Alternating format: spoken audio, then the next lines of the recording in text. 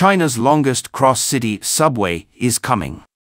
China's Greater Bay Area is gradually evolving into a super city. The new super subway is an epic making appearance.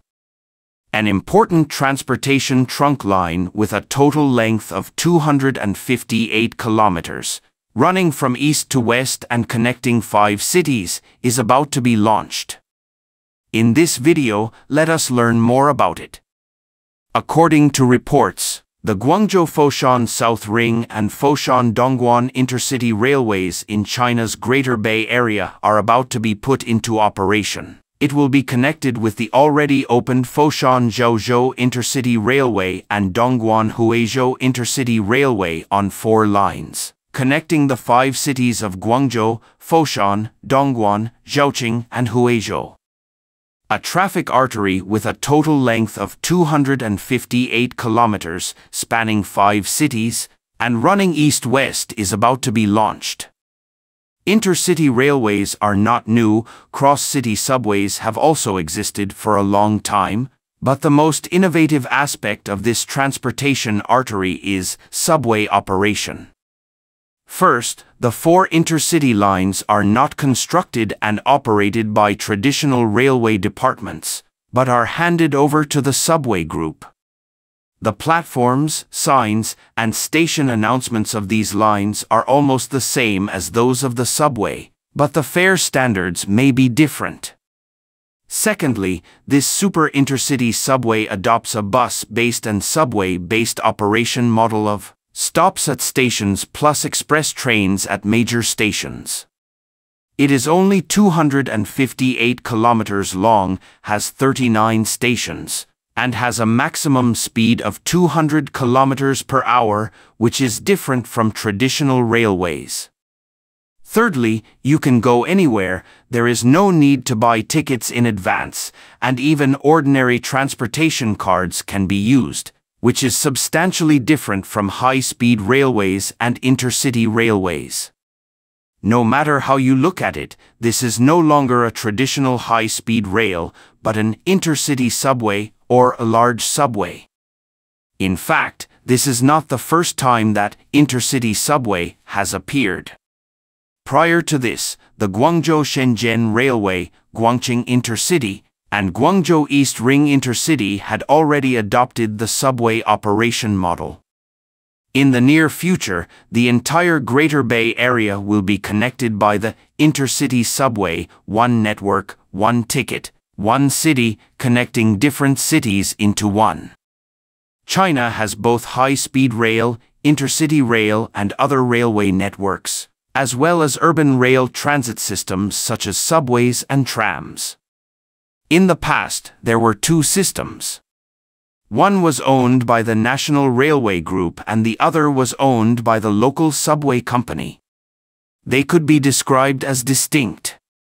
The railway system focuses on travel across cities and provinces.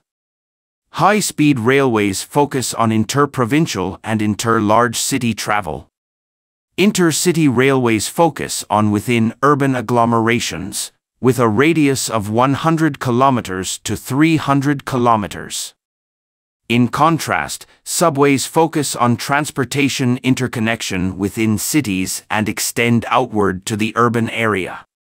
The radius is usually within 50 kilometers. Even cross-city subways generally do not exceed 100 kilometers. The advantage of railways is speed. Morning and evening travel between Beijing and Guangzhou has long been a reality. The advantage of the subway lies in its passenger flow, covering more stations, shorter intervals, and carrying higher passenger flow. No matter how you look at it, these are two completely different modes of transportation.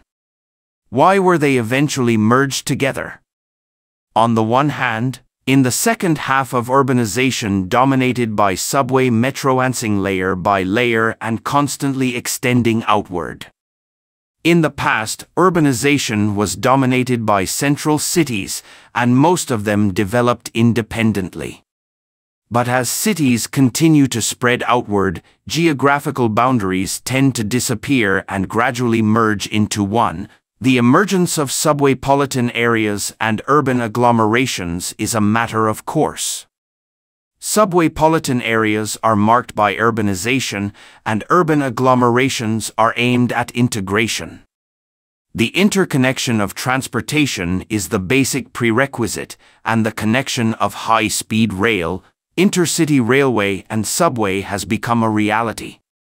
On the other hand, not every city is qualified to build subways, and the construction of cross-city subways requires curving curves to save the country. Currently, only 40 of China's more than 300 prefecture level and above cities have opened subways, and almost all third and fourth tier cities are shut out. The reason is that subway construction must weigh passenger flow and debt pressure. Without sufficient economic, financial and population support, it will only do more harm than good. As early as a few years ago, China had raised the GDP, financial, and population thresholds for subway construction. In recent years, it has restricted the first round of subway planning for new cities. Fortunately, the emergence of the subwaypolitan area and urban agglomeration strategy has provided a new possibility. Some cities use the subwaypolitan area strategy to extend their subway networks to other cities within the subwaypolitan area. This is true for Wuhan and Ezhou, Changzhutan, Nanjing and Ma'anshan, Chengdu and Jianyang. The same goes for intercity subway. With the help of subway operations, traditional intercity railways will be turned into large-scale subways, thus helping many cities to realize their subway dreams in disguise. This model is expected to be replicated in more subwaypolitan areas and urban agglomerations in the future. As the most mature world-class urban agglomeration in China, the 11 cities in the Guangdong Hong Kong Macau Greater Bay Area are almost connected into one, just like one city. The Guangzhou subwaypolitan area and Shenzhen subwaypolitan area, which were approved at the end of last year, are the most mature national-level subwaypolitan areas in China, and their degree of urbanization is much higher than other regions. It has the world's largest manufacturing base, the highest density of airports and ports, and a dotted transportation network of high-speed rail, intercity and subway. It is worth mentioning that the Pearl River estuary is embarking on a big patchwork. Eleven cross-sea passages, including the Shenzhen-Zhong Passage and the Humen Bridge, connect the east and west banks of the Pearl River. The one-hour traffic circle, one-hour economic circle, and one-hour living circle, pursued by many places have already become a reality in the Greater Bay Area. As early as more than 10 years ago, China's first cross-city subway, the Guangfo Subway, was opened. Today, there are three cross-city subway lines between Guangzhou and Foshan alone, and 18 more lines will be connected in the future.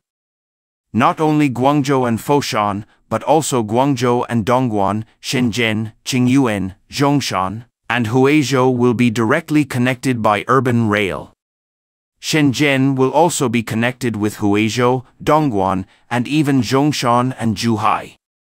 Thanks to the connectivity of transportation, the frequency of cross-city commuting in the Pearl River Delta is much higher than that of other urban agglomerations.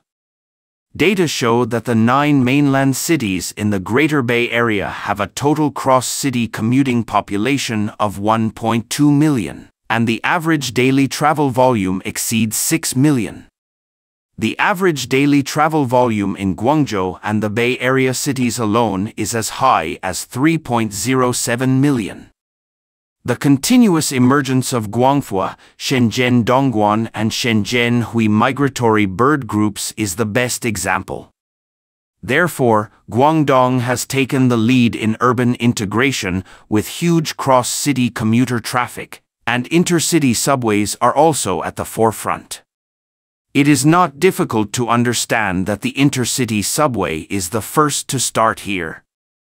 The Greater Bay Area is home to international financial centers such as Hong Kong, Shenzhen, and Guangzhou, as well as trillion-dollar cities such as Shenzhen, Guangzhou, Foshan, and Dongguan, as well as industrial cities represented by Zhuhai, Zhongshan, Huizhou, Zhaoqing, and Jiangmen.